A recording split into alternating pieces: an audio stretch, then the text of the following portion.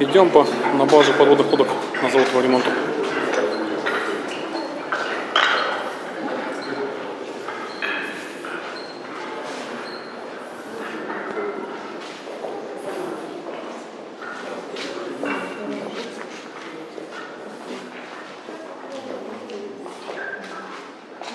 Мы с вами вошли в первый транспортный зал.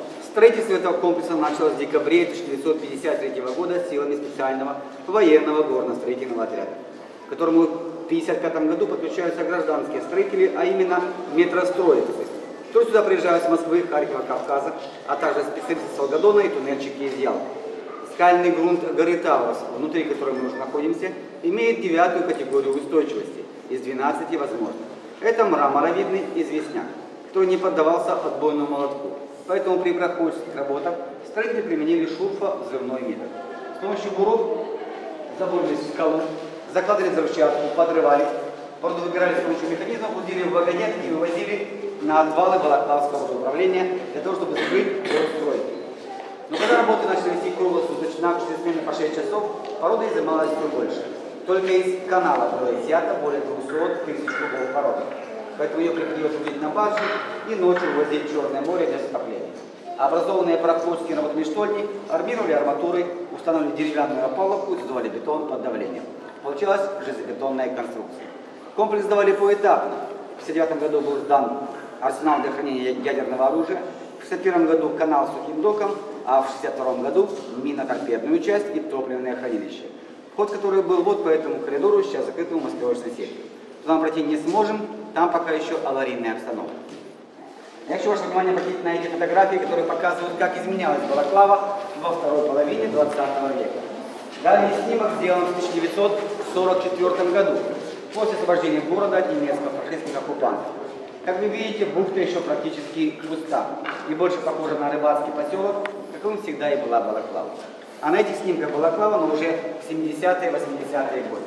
Как вы видите, это уже совсем другая Балаклава. Это база подводных лодок. Здесь подводные лодки разных проектов и конструкций. Вот наше подземное сооружение. Корабли колонокраны, ремонтный завод «Металлист», корабли обеспечения и снабжения, плавучие сухие доки для ремонта народных кораблей и подводных лодок. Военный институт для разработки новейших видов морского вооружения. Погружаемые стартовые комплексы для испытания запуска крылатых и баллистических ракет, в том числе с подводным стартом. Под Балаклавой на Фиолен был развернут полигон, где опробировалось новейшее морское вооружение. Все это в целом стало причиной того, что в 1957 году Балаклаву засекречивают настолько, что перестают наносить ее на новые географические карты Советского Союза. Она теряет статус города, становится районом Севастополя, каковым остается до сих пор. А упоминать название Балаклава в советской прессе на долгие годы стало просто запрещено. Чтобы попасть в Балаклаву, нужно было иметь специальный пропуск. Даже жители самой Балаклавы не могли попасть на эту западную сторону бухты, не имея специального пропуска, который выдавали военные. Это продолжалось до 1995 года, когда здесь уже не хранили ядерное оружие, а подобные лодки покинули Балаклаву. Только тогда ее рассекретили. А мы с вами находимся перед входом в транспортный коридор. Все транспортные водные коридоры подземных комплексов называются патернами. Длина данной патерны 296 метров, и она ведет к спеццеху судоремонтного завода «Металлист» по ремонту подводных лодок. Прикрывает вход в патерну система ворот. Перед вами противоударные ворота, которые должны быть защитой от ударной волны, возникающей при ядерном взрыве. Эти ворота удерживают давление в 60 атмосфер. Давление 60 кг на сантиметр квадратный. Они выполнены из толстого металла, состоят 4 метра, толщина 40 сантиметров. Внутри ворота залиты бетоном марки 500. Вес каждой створки по 10 тонн. С помощью специального гидравлического привода, но был предусмотрен и ручной. Дальше по патерне мы можем видеть второй эшелон таких противоударных ворот, на тот случай, если не выдержит первый. А еще чуть дальше проем. Там находились герметичные газоводонепроницаемые двери, служили для герметизации и защиты от зараженного воздуха. Но в этой части комплекса они не сохранились, поскольку эта часть комплекса была в свое время брошена и разграблена. В скажу чуть больше по ходу. Вот такие герметичные ворота вы все равно увидите в арсенале, который сохранился значительно лучше. А мы идем дальше по патерне, смотрим под ноги и не отстаем.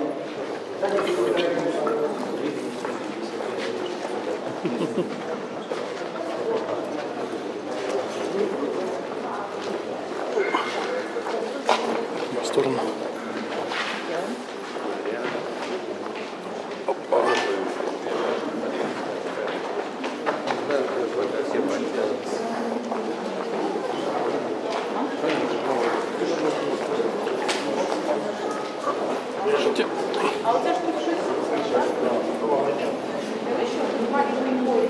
Вообще никакой.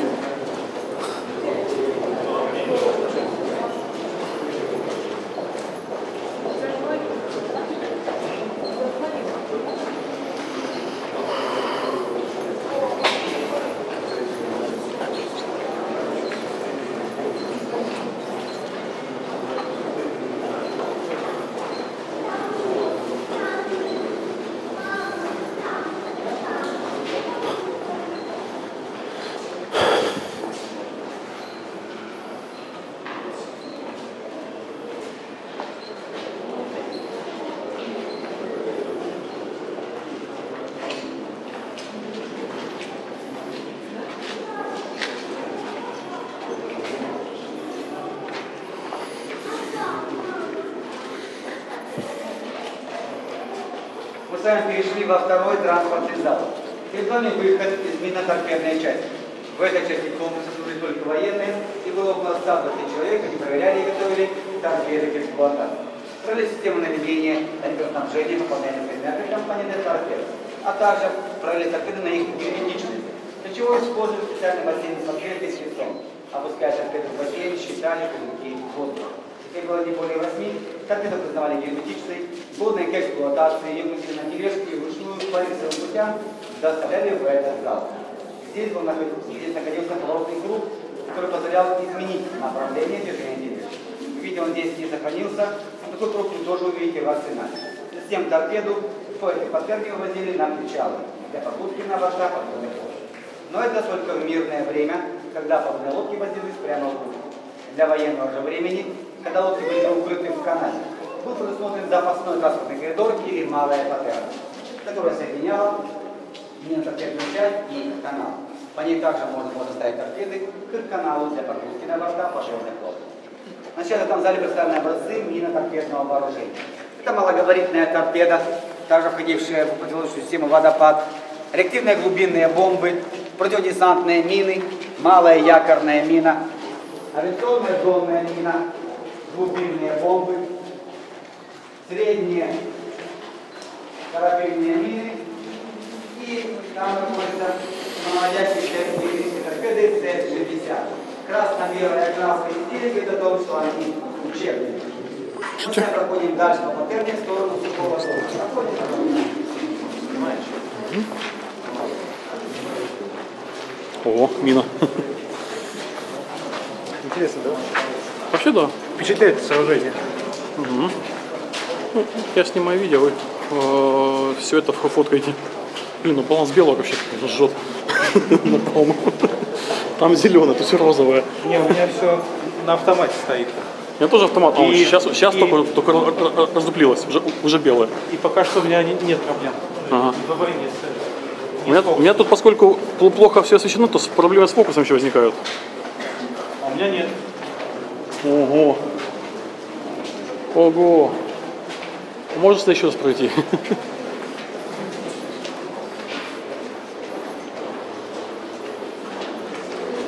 Атомная паровка, атомная, атомная.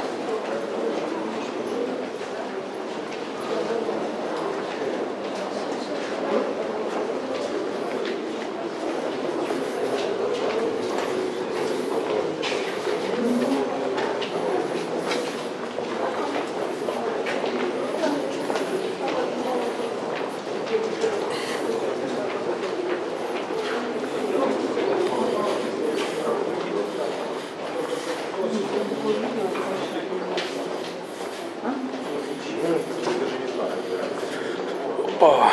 Остановка.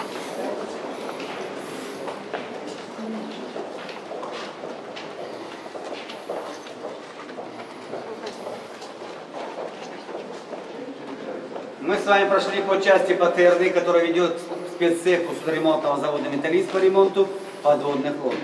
Вы должны были заметить, что здесь уже нет рельсовых путей. Из никогда и не было, поскольку все грузы доставлялись в спеццех на электрокарах. которые двигались по этому коридору. А вдоль стен по дорожкам, отмеченным белыми линиями, должны были передвигаться рабочие спеццехи. Все транспортные пешеходные коридоры этого комплекса и даже сам канал имеют дуговую форму с радиусом закругления в 30 градусов. Это сделано для того, чтобы полностью погасить ударную волну, если она пройдет через противоударные ворота. Ударная волна, многократно отразившись от стен, должна была погасить сама себя. Проект этого сооружения был разработан в конце 40-х годов Ленинградским государственным проектным институтом «Гранит». Документы на постройку подписывали еще Сталин и Берия, но строить начали уже после их смерти. Проектная стоимость этого сооружения была в районе 100 миллионов рублей. Сколько на самом деле было потрачено денег, мы не знаем и по сей день. После, документации, после постройки вся документация была засекречена, где находится сейчас, мы также не знаем. Но знаем о том, что толщина стен и сводов в паттернах колеблется от 1 до 3 метров, а в канале доходит до 5 метров. Толщина скального грунта над вашими головами достигает 126 метров, а под вашими ногами технический этаж. Там проходят трубопроводы, которые идут от топливного хранилища к каналу, по которым можно было дозаправить подводные лодки горюче-смазочными материалами, а также пополнить запасы пресной воды. А мы с вами идем на преддоковую площадку. Проходим. Правда, видимо, что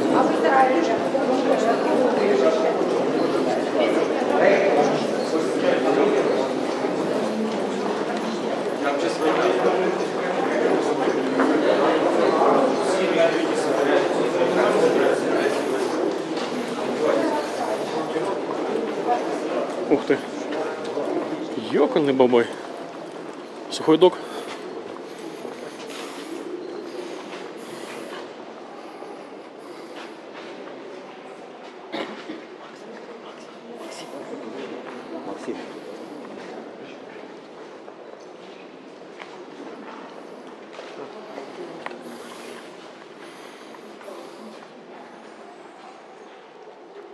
Мы с вами вышли на преддоковую площадку. Перед вами сухой док для ремонта подводных лодок. Сейчас он заполнен водой. Это железобетонный бассейн. Его длина 102 метра, ширина 10 метров, а глубина, как и у канала, 8 метров. Он огорожен от основного канала в торце водонепроницаемым заслоном или малым ботафортом. Он виден в конце сухого дока. Когда подводную лодку заводили в док на ремонт, ботафорт убирали, лодку на швартовых концах заводили в наполненный водой док. Водопор закрывали, затем за 3-4 часа с помощью мощных насосов воду из дока откачивали в канал. И лодка постепенно опускалась на специальные подпорки блоки. После чего рабочие могли спуститься в уже осушенный док. Корпус лодки чистился, обшивался деревянными лесами, начинался ремонт, который в среднем длился от 3 до 4 недель. Таким образом, за год этот объект мог обслужить от 12 до 15 подводных лодок. Здесь ремонтировали малые и средние дизель-электрические торпедные подводные лодки. Большие дизельные лодки здесь не ремонтировали, они не проходили в канал по габаритам. Атомных подводных лодок на Черном море никогда не было, и их здесь нет. Но нужно путать атомные подводные лодки с дизельными, которые здесь были, но были вооружены ядерным оружием. После того, как ремонт лодки заканчивался, леса убирали, а док заполняли водой из канала, открыв специальное отверстие Кингстоны. Лодка всплывала, и ее кормой вперед выводили обратно в бухту через понтонный мост. Таким образом, в этом объекте всегда было только по одной подводной лодке, которая находилась в ремонте в этом доке. А перед вами макет советской средней дизель-электрической торпедной подводной лодки 613 проекта. Это был первый послевоенный крупный проект подводных лодок в Советском Союзе. Многое при проектировании было взято с немецкой трофейной подводной лодки У-250. Длина такой лодки 76 метров, ширина 6,6 метров, осадка 4,6. Глубина погружения до 200 метров, вооружение 4 носовых, 2 кормовых торпедных аппарата с торпедами и 6 торпед было запасных.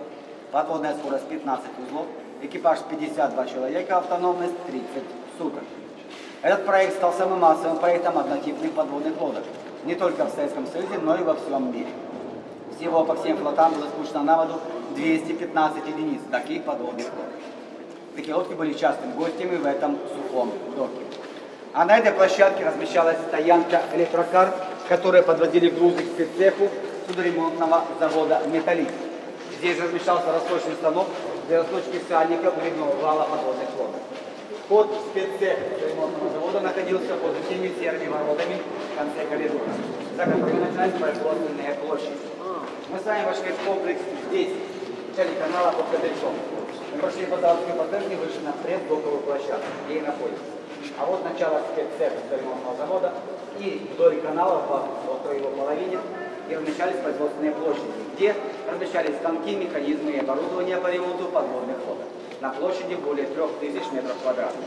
Это пятая часть всего комплекса. Там находилась вся необходимая инфраструктура для того, чтобы этот объект мог существовать автономно от внешнего мира в случае ядерного удара по Балаклаве.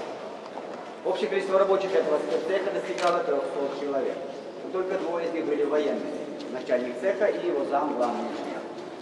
Их кабинеты находились на втором этаже над спеццехом. Там же был развернут запасной командный пункт 14 дивизии подводных лодок, которая базировалась на Балаклаву и Севастополе. В случае ядерного удара по Балаклаве подводные лодки порвались бы в канале на всем его протяжении. Напомню, что его длина 608 метров. И здесь можно было укрыть 9 малых или 7 средних подводных лодок вместе с экипажем. А на городских площадях можно было разместить до 1000 человек местного населения Балаклава.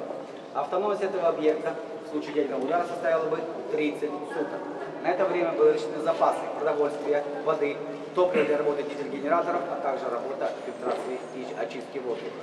После этого срока гражданское население нужно было бы из заводской части эвакуировать в безопасные районы, а подводные лодки, сохраненные в этом объекте, полностью оснащенные, используя второй выход, могли выйти в открытое Черное море для того, чтобы нанести ответный удар по врагу. Так планировали использовать это сооружение в случае, если бы холодная война переросла в горячую. Как вы знаете, этого наше счастье с вами вообще не случилось.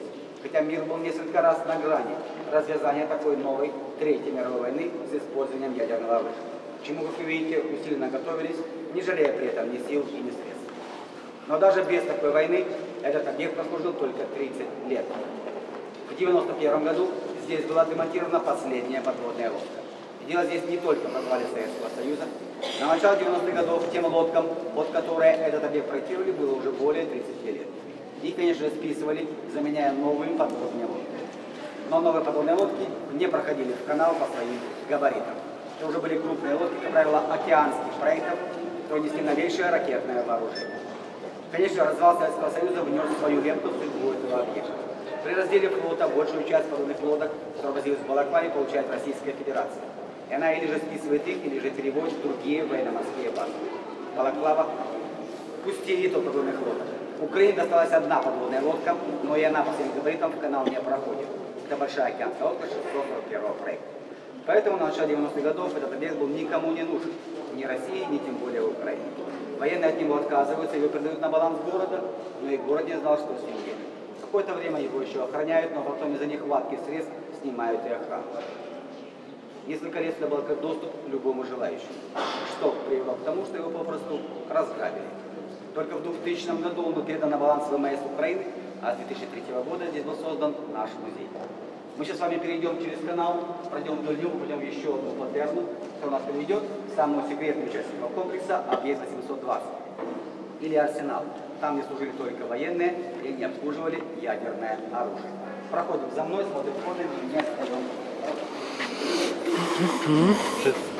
Ты записал? Я пишу видео. да. спасибо. Потом тебе давай. П- Правда, звук, наверное, будет шумным, что у меня сейчас стоит стабилизация изображения. Вот. Блин, насколько тут все-таки интересно, да? Боюсь только, что видео будет очень темное. Такс. Вот туда весь народ идет. Я думаю, что все что угодно. Так, двигаемся по каналу. Самый-самый секретный объект.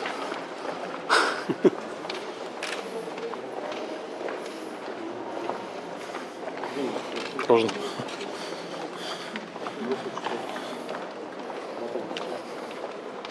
На видео.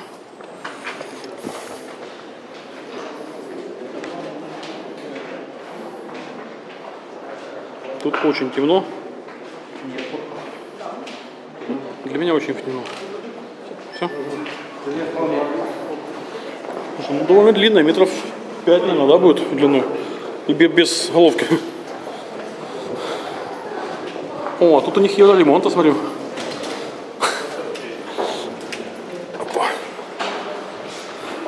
Слышь? Тут у них евроремонт.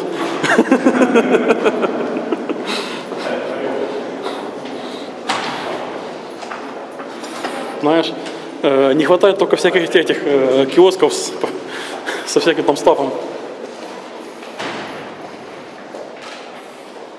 О, еще один дверь, кстати, глянь. Я, я же подряд снимал. Да, вообще здоровая. Так мы с вами перешли через канал и попали в арсенальную паттерн, который нас приведет к арсеналу. Но так как мы в него пойдем, в него не заходили. Это был не вход в арсенал, а выход в сторону канала на случай военных действий. По этой паттерне доставляли бы ядерные боеголовки. И здесь, в расширенной части этой паттерны, их стыковали бы с несущими частями торпед. Это чтобы подвести к каналу и погрузить на борта подводных лодок. Но это только в военное время. К этому только готовились. В мирное время эту паттерну использовали только для тренировок личного состава арсенала. Мы находимся с вами в шлюзовой камере. Арсенальной паттерны, которую делала автономным арсенал от объекта 825 ГТС. Здесь можно увидеть два типа дверей или ворот. Мы прошли противоударные ворота, которые схожи с теми, что мы с вами видели в начале экскурсии, ради только в том, что здесь высота их 3 метра, толщина 60 сантиметров. Здесь был другой привод, он был электрический, электромоторный. И здесь также можете увидеть сохранившийся маховик ручного привода, открытие и закрытие левой створки ударных ворот. За этими воротами вторая, второй элемент. Такой. А перед вами герметичные газовода, непроницаемые двери, служащие для герметизации и защиты от зараженного воздуха. Их вес около двух тонн, они выполнены из листовой стали. По периметру идет мощная резиновая прокладка для герметичности, а для удобства прохода личного состава, чтобы каждый раз всю дверь не открывать, была оборудована дверью по типу корабельной.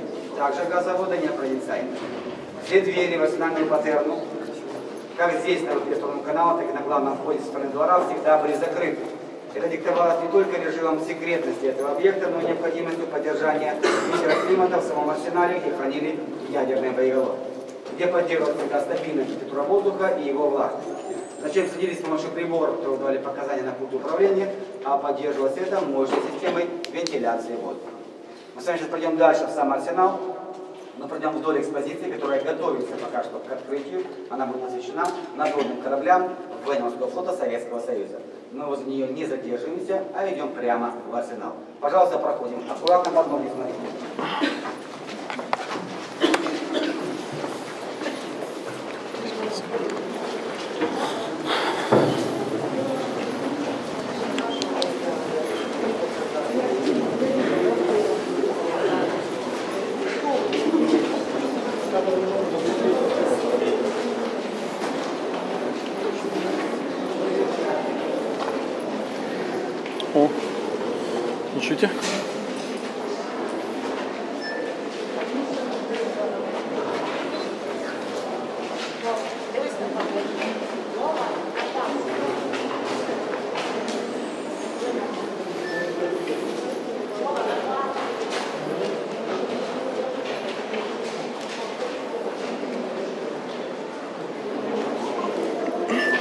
Подсвети.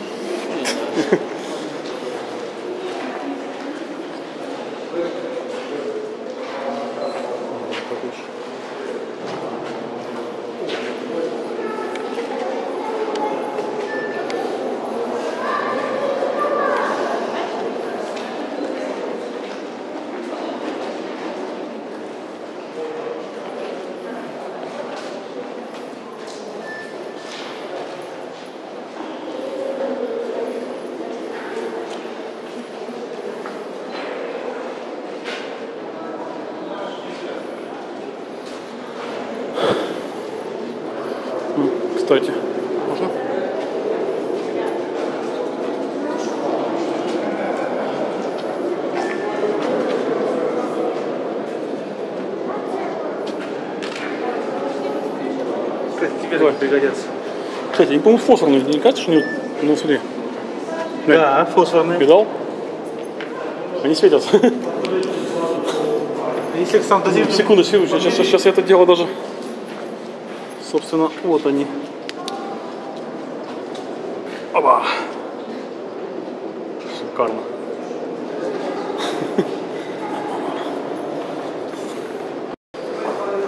Так, входим в красный зал. Здесь уже можно видеть отдел арсенала шиферной покрытия. Это было необходимо как для гидроизоляции помещения, так и для шумоизоляции, поскольку здесь уже отдавались приказы командирами своим подчиненным при работе с ядерным боеголовком. Эти приказы должны были быть слышимы четко и разборчиво. Здесь также вы можете увидеть систему вентиляции воздуха, которая позволяла поддерживать стабильную температуру и его влажность. И также здесь можете видеть систему рельсовых путей, по которым по территории СНАП передвигали транспортную тележку, на которой перевозили контейнеры с ядерными боеголовками. А вами в сам. Пиши. Есть подозрение, что прикольно.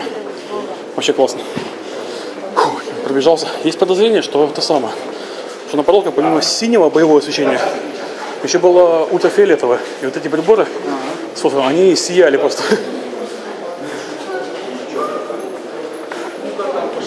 Выдох, выдох. Сфоткай меня. На фоне этого. Ну ты смазанный почему-то здесь. Темновато все. Понятно. Ой, а у меня, а у меня видео идет. Ну, Я потом еще плесни повлезаю, попробую это все. Но с фокусом я ничего не сделаю, но цвет может, быть получится вытянуть. А, конечно, растянулся, смотри. да. О, кстати, опять рельсы есть. Мы вошли в арсенал, а именно в самую секретную его часть, локальную зону. Арсенал обслуживала специальная воинская часть ВЧ-90-989. В нее входило 150 военнослужащих, но только 55 офицеров и мичманов этой воинской части имели допуск в локальную зону для работы с ядерным оружием. Они входили в состав сборочных групп. Всего было две бригады по три сборочные группы. В каждой группе по 8 человек. Каждая группа была закреплена за каким-то одним конкретным видом ядерных боеголовок, которые она и обслуживала. Все офицеры лично этой воинской части проходили комплексную проверку Комитетом государственной безопасности при Черноморском флоте. Они были обучены работе со спецвооружением и давали подписку о неразглашении военной тайны. Но надписи не было им о том постоянным, каждодневным напоминанием. Просто даже их родные близкие не должны были знать, чем они занимаются на службе. Сами ядерные боеголовки доставлялись во двор арсенала на спецмашинах в контейнерах. Мы через двор выйдем с вами из нашего музейного комплекса. Там происходила перегрузка с боеголовками на вот такие транспортные тележки. И уже вручную по речным путям они доставлялись в локальную зону. Здесь с помощью этого поворотного круга можно было изменить направление движения тележки и отправить боеголовку на первое обслуживание в зал регламентных работ. Это самое большое помещение локальной зоны, оно было разбито на 6 секторов, в каждом делать работу с каким-то конкретным видом ядерных боеголовок. Оттуда боеголовки отправили на хранение в хранилище, где в первом зале хранили боеголовки для торпед, а во втором на специальном сейсмоустойчивом постаменте боеголовки для ракет наземного и морского базирования. Суммарный эквивалент хранимого здесь ядерного оружия достигал одной мегатонны. Естественно, что к правилам техники безопасности здесь относились крайне серьезно. Два раза в год боеголовки проходили обслуживание в зале регламентных работ. И там же и готовили к боевому применению. А подготовленные боеголовки вывозили во двор арсенала, где стыковались с несущими частями торпед. Стыковка ядерных боеголовок с ракетами происходила на месте дислокации самих ракет. Также два раза в год офицеры и мичманы сдавали экзамены на знание материальной части и правил техники безопасности. А работы с ядерными боеголовками проводили методом тройного контроля. Старший офицер зачитывал по инструкции, что необходимо делать. Мастер Мичман проделал необходимую работу, при этом он вслух проговаривал то, что он делает. Еще один офицер все это за ними записывал в специальный формуляр. А после окончания работ каждый из них расписывался за свой проделанный участок работы. Локальная зона арсенала, где мы сами находимся, где в свое время хранили ядерное оружие и его обслуживали, это замкнутое пространство. И здесь была высока вероятность возникновения статического электричества, недопустимого при работе с ядерными боеголовками. Чтобы его избежать, офицеры мичманы, придя на службу, переодевались в хлопчатобумажную спецодежду. Никакой синтетики на них не должно было быть. Также они одевали специальную обувь, подошва которой была прошита медными нитями. Это должно было снимать статику. А чтобы избежать возникновения искры при транспортировке и погрузке, колеса этих тележек обшивались латунью, а верх тележек алюминием. Это мягкие металлы, которые не высекают искру. За 33 года действия этого арсенала ни одной нештатной ситуации с этими боеголовками, которая могла бы привести к аварии, здесь не было. Это говорит о многом, но в том числе и о том, что работали с боеголовками все-таки профессионалы. которые ответственно подходили к своей работе. Последняя проверка санстанции в феврале этого года подтвердила, что уровень радиации здесь меньше, чем на улице. По направлению к залу регламентных работ по правую сторону коридора находились кабинеты сейф. Их закрывают мощные двери весом 350 кг. Там все время хранили запасные части к боеголовкам, контрольно-измерительную аппаратуру, специнструмент и секретную документацию. На сегодня в высшей локальной зоне музей здесь развернуты экспозиции, с которыми вы сейчас и ознакомитесь. Ознакомление у нас самостоятельное, все экспонаты подписаны на трех языках. Первый зал, посвященный Черноморскому флоту в послевоенный период, мы заходим компактно, там работает осушитель воздуха. Экспозиция имеет хронологию расположения экспонатов, поэтому правильно будете его смотреть таким образом, что зайдя в зал, вы проходите прямо по рельсовым путям, потом по часовой стрелочке собираемся там же, где мы вошли, и переходим уже в следующий зал. Здесь у нас две экспозиции. Первая посвящена становлению и развитию военно-морских сил Украины, а вторая стрелковому вооружению. Время у нас ограничено, к сожалению. За нами следующая группа, поэтому 7 минут у нас уходит на первый зал и 5 минут на второй. Пожалуйста, проходим за мной, смотрим под ноги. Пожалуйста, в зале за ограждение не заходите. Манекены, а также модели футбола руками не трогайте. Thank you.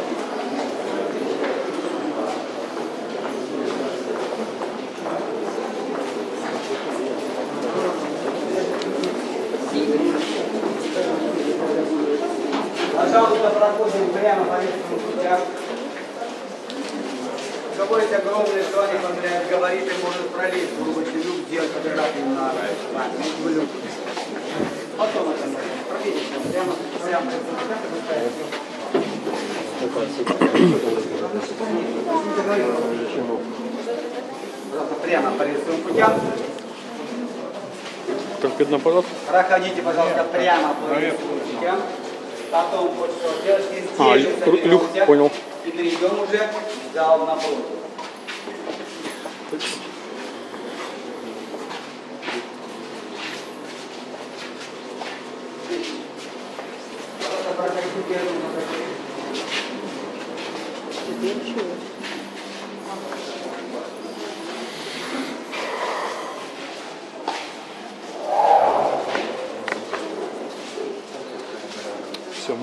churches.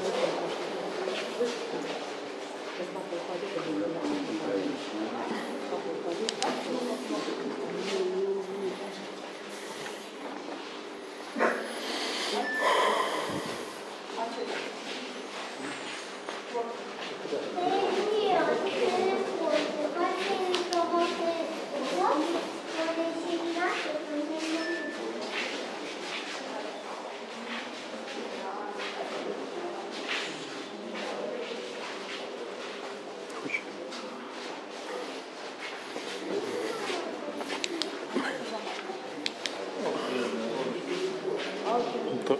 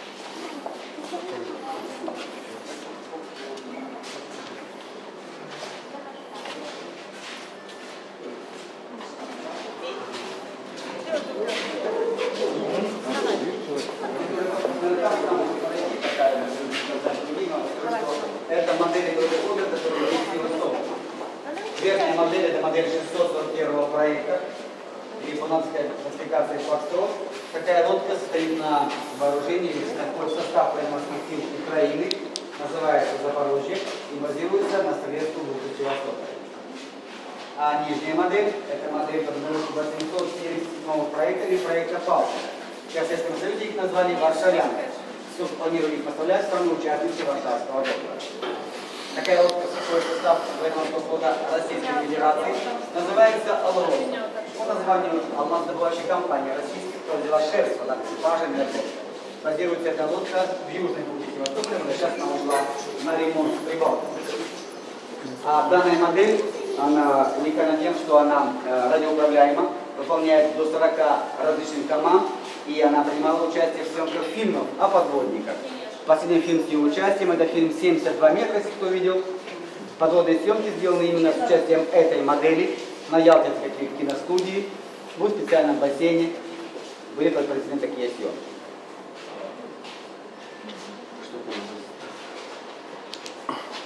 Давайте здесь закончим, перейдем в зал. Пожалуйста, выходим и проходим за мной в следующий зал.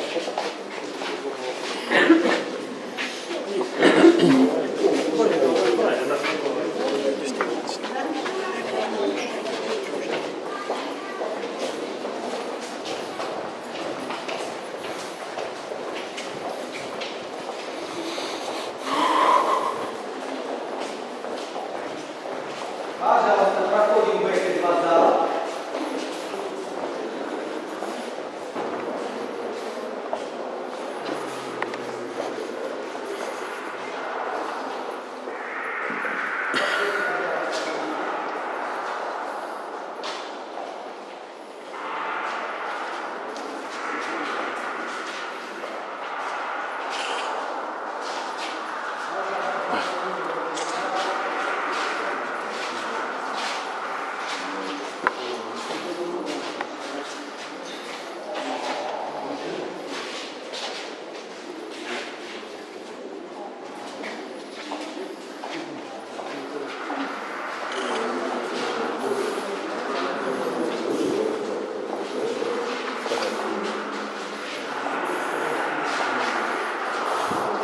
Так, ну самолета я видел.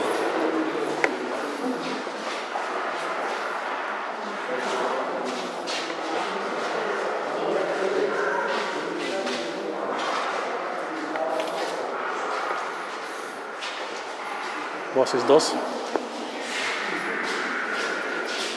Темно там.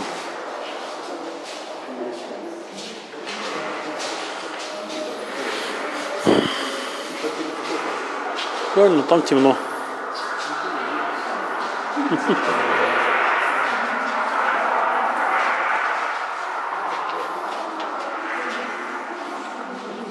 Ты снимаешь, фотографируешь? О, вон ты, КРХО 5, по-моему.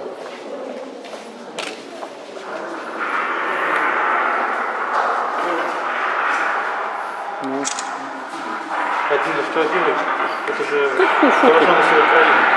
РПК. Не в России. 4 РПК. Почему? Она везде, везде, используется, в России. РПК сейчас используют до сих пор. Точно как Калашникова. Наверное. Вот.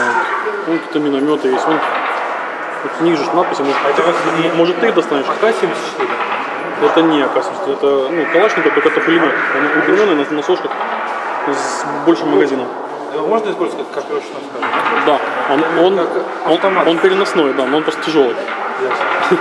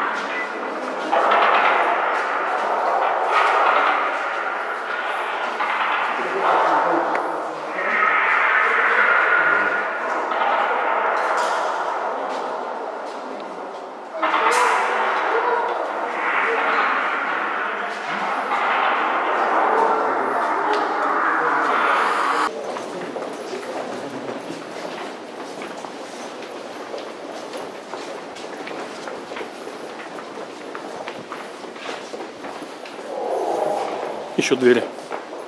Много дверей. По-моему, не.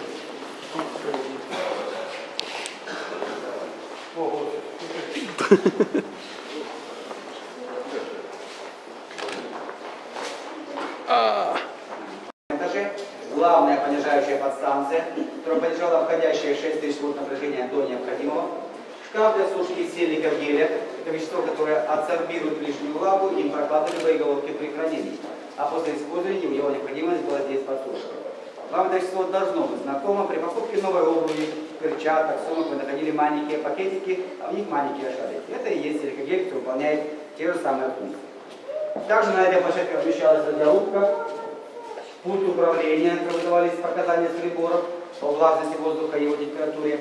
А в этом коридоре по левую сторону находились кабинеты дежурного по воинской части, командование воинской части, учебные классы, оружейная комната, а также медпункт. Дело в том, что все офицеры мечены перед тем, как проходить в локальную зону, проходили обязательный каждодневный медицинский контроль. И только имея допуск от доктора, а также имея допуск, выдаваемый шестым управлением флота для работы с ядерным оружием, они могли пройти в локальную зону через вооруженного часового. Он находился здесь, на границе поста, надпись там частично сохранилась, и он проверял наличие пропусков, никто не намеревался пройти в локальную зону. Наш могли пройти только 55 офицеров и мичманов, которые имели соответствующие пропуска. Арсенал проработал 33 года, с 1959 по 1992 год. Дело в том, что в 1991 году Украина становится независимым государством и принимает решение об отказе от всего ядерного оружия, которое было размещено на ее территории. Поэтому все ядерное оружие, в том числе и ядерные боеголовки из объекта 820, были поэтапно вывезены на территорию Российской Федерации. На заводы-изготовители или на базу хранения Министерства обороны. А воинскую часть, обслуживала Забавно мигает. расформировали. Но сюда пришли украинские военные, которые использовали территорию арсенала как складскую территорию. Какое-то время сюда со всего Крыма свозили и здесь хранили вышедшие из употребления украинские денежные знаки Карбова. Но с 2000 года эта часть комплекса также перешла под юрисдикцию ВМС Украины, а с 2003 года здесь также работает наш музей. Только потому, что эта часть комплекса всегда находилась под охраной, она сохранилась значительно лучше, нежели заводская часть, которая была варварски разграблена. Хотя и эта часть пострадала при смене хозяев. На сегодня это единый музейный комплекс, хотя в свое время, когда этот комплекс работал, все его части работали автономно, независимо друг от друга, при соблюдении всех мер секретности. У каждой части был свой командир, свой начальник. Совместная работа всех частей комплекса должна была начаться только с началом боевых действий, когда подводные лодки были бы укрыты в канале, а все части этого комплекса работали бы на их обеспечение всем необходимым. Но военные времена не наступили, наступили совсем другие времена, которые привели к тому, что теперь здесь музей. Думаю, что это не самый худший из сценариев истории. Мы с вами проходим дальше. Ключевую камеру на входе в арсенал. Аккуратно.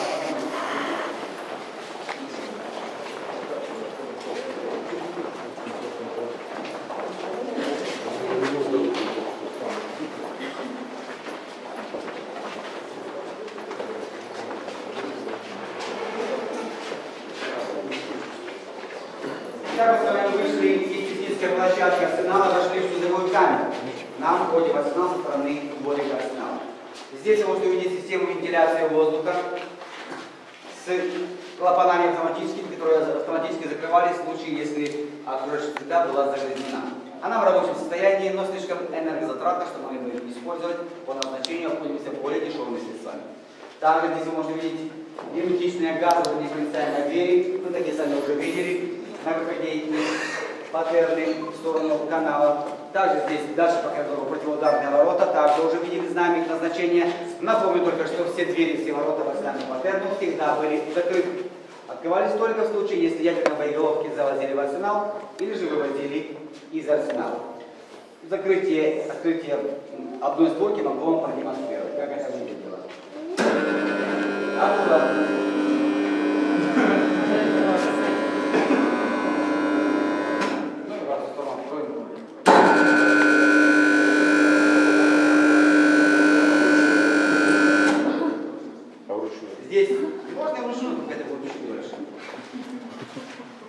То есть поняли, да, что все двери были закрыты. Возникает вопрос, как же военнослужащие на службу и уходили с нее. Для этого был сооружен специальный людской ходок. Он начинался за закрытой створкой правой, а выходил здесь, в шлюзовой камере. И уже через маленькую дверь типа корабельной военнослужащие проходили в арсенал. Этот коридор, как и все коридоры, имеет дуговую форму с радиусом закрытия в 30 градусов, и он снабжен двумя электроконтактными дверьми. Вторые нельзя было открыть, если сначала за собой не закрыть первые двери. То есть своеобразная шлюзовая камера. Кто из вас захочет пройти по этому коридорчику, как говорится, милости просит. Кто не захочет, тот пойдет дальше по коридору, там все встретитесь. И уже выйдете во двор арсенала, где у нас представлены образцы техники и вооружения Черноморского флота периода Советского Союза. Здесь за левой створкой у нас э, сувенирный ларек, если можете ознакомиться, посмотреть су- сувенирную продукцию. Я просто хочу с вами здесь попрощаться, поблагодарить вас за внимание, сказать вам о том, что наш музей еще довольно-таки молодой.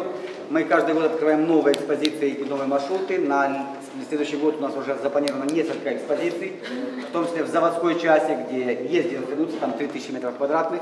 Экспозиция будет посвящена холодной войне. Э, идут переговоры о постановке нам и настоящей подводной лодки. Там, конечно, еще проблемы в том, что ее нужно поднять, похоронить экипаж. Это лодка времен Второй мировой войны, малютка. Но такие действия уже как бы начаты. Хотя бы есть какие-то сдвиги. Поэтому не хочу вам говорить слово «прощайте», слово «нехорошее», говорю вам «до свидания». Да- Даст Бог увидимся. Спасибо вам за внимание, всего вам хорошего. Спасибо. Дай вам здоровья. Пожалуйста. Итак, кто хочет, проходить сюда, кто не хочет, идет по коридору. Сейчас туда все пойдут. А можно вопрос? А вот мы когда вот э, в, сухой, э, в сухом доке были, там вот э, сделаны такие ниши.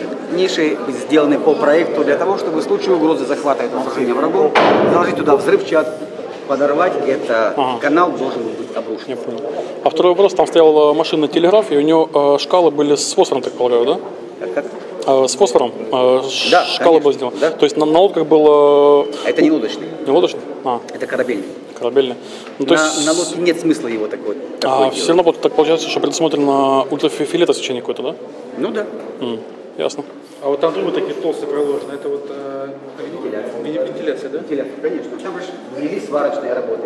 Во-первых, нужно было это вентилировать. А во-вторых, когда комплекс уже или объект работал был в автономном режиме, вот, происходила вентиляция, то есть при- притяжная и вытяжная вентиляция. Через специальную систему фильтров, грубой и тонкой очистки, воздух загрязненный бы очищался, и те, кто находился в комплексе, в, объекте мо- могли дышать нормальным воздухом. Но недолго, всего 30 дней. Ясно. А вот сейчас вот мы находимся, вот, вот, э, здесь там воздух э, естественным путем поступает. Конечно, естественно. Ну, система работает, но она настолько энергозатратна, что мы просто вылетим в трубу вместе с ней.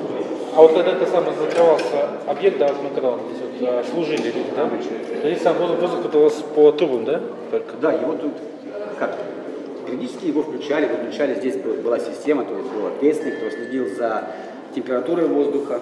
Как правило, говорит, как во- во- военные говорят, его необходимо здесь было только остужать. То есть подогревать всегда температура более-менее нормальная, но бывало просто жарче, чем необходимо было. Поэтому его остужали с помощью холодильной установки. Спасибо. Спасибо. Так, заходим в шлюз. Очень интересно, кстати. Да, я доволен, что пошли на- именно на экскурсию. Потому что так бы мы просто прошли бы, опа, а вот тебе и Олежка, иди сюда. дверь шлюзовая. Ой, слушай, Вторая. А, а где, а где первая была? Или я ее не заметил?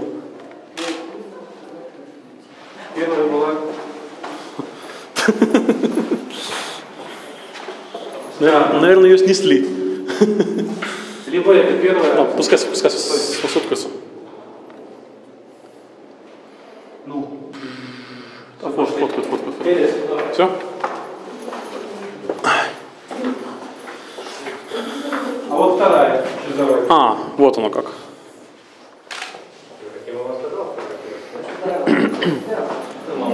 Так, а, да, вот. Вторая. Система, Опа. что а, пока первая не будет закрыта, вторая не закроется. Я хочу себе рынду. Ого. Рынду. Нет, не хочу. Ну, можно? А, ладно, не буду. Не надо. Еще не работает.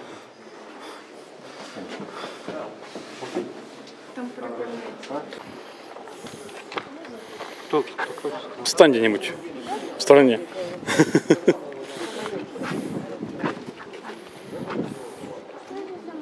Мы с вами вышли на погрузочную площадку Арсенала. На этой площадке под эстакадой, обратите внимание, шиферное, шиферное сооружение, а, проводилась сборка ядерной боеголовки с носителем. Подготовленный ядерный боеприпас а, по транспортному, э, по рейсовому пути.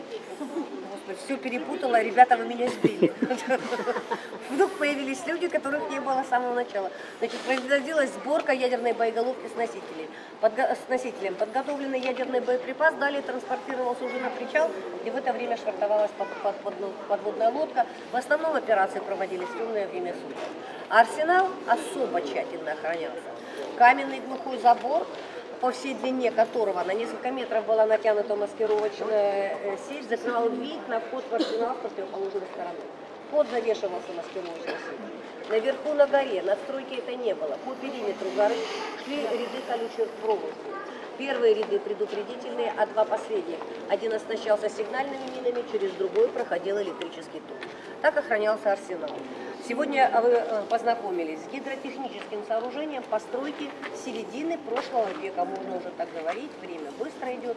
А Я благодарю вас за внимание, желаю вам всего доброго выхода. Спасибо. Группка станете, вот это. Давайте, группа. Фото, фотографии тоже быть. Девочка. В А ладно, пускай группа идет. Это не наша группа.